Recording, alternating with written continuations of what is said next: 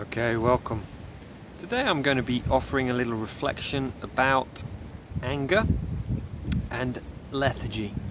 Just noticing that dance between the two about how when you're feeling really lethargic, you've got no energy, potentially could that be something to do with the anger, the rage that you feel inside yourself. So, enjoy. Okay, so um, I'm sheltered here by the the wood store. And this wood store, I've just just made this wood store actually um, a couple of uh, weeks ago. I've got some uh, some wood in my son, and um, yeah, I needed somewhere to store it. So um, just out of the wind here. And what's coming up for me today is uh, basically my work is most of my work is with men um, both in my coaching work, my online coaching and the retreats that I lead and some of the workshops. And what I notice is that there's a few things I notice with men is one is that we feel emasculated, a lot of us, and I notice that there's quite a lot of us who we just don't have very much energy, we feel very lethargic, can't be bothered, this sense of apathy and what I wanted to speak on a bit today is this sense of just getting in touch with the anger. As you know, if you've watched my videos for a while, I lived in a Buddhist monastery for a, a, number of years and while I was there the abbot used to say to me when I'd say about anger, you know, not wanting to get angry, he'd say, you know, Piers, anger is just energy. It took me a while to really understand this, but oftentimes I feel that we are very lethargic, we can't be bothered, we have this apathy, partly because we have this anger inside ourselves. And interestingly, during my time in the monastery, um, I was very angry for a few years and then I got chronic fatigue and I literally struggled to get out of bed, but my anger dissipated a lot leaving the monastery, I went to see a, a psychotherapist, a, a Jungian analyst in particular.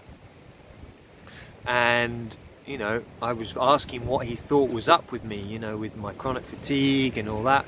And he says, You're just filled with anger. and I just thought, oh, he's really hit the nail on the head. He's so right. And that was true. And so I started to see him. I worked with him for a few years.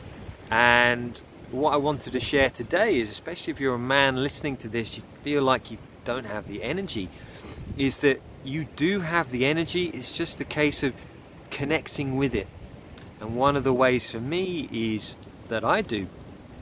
If I'm feeling angry, I don't react or I don't go and punch a punch bag. You know, sometimes I will channel that energy, but what I'll do is just feel it and I'll walk back and forth and this is a practice which comes from Thich Nhat Hanh, the Vietnamese Buddhist monk. And you breathe in and you breathe out and you walk back and forth and you as you breathe in it's breathing in. This anger has arisen in me. Breathing out I'm taking good care of this anger. And you for a period of 10-20 minutes he recommends you just feel your anger. He says it's a bit like cooking potatoes you takes a little time it takes 20 minutes to cook them and for the anger to, to turn and to shift. And what you do after that is that for me when I connect with my anger it's like feeling that vibrancy that aliveness that oof yeah that power. And I see that as men we feel very emasculated. We've been told that anger our power is wrong and it's no, there's nothing wrong with the power, there's nothing wrong with the feeling of the anger, it's what we do with that power, it's what we do with that anger.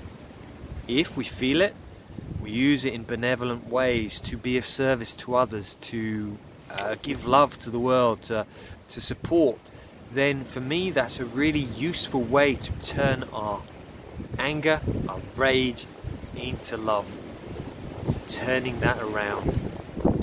So, yeah. So, yeah, I think I'm just looking at my notes. I think that's basically it, really, uh, for what I wanted to share about anger. So if you're feeling that lethargy, you're feeling that apathy, give yourself the space to feel breathe feel your anger and know that it's okay it's just energy and you'll feel this vibrancy this aliveness come back into your cells.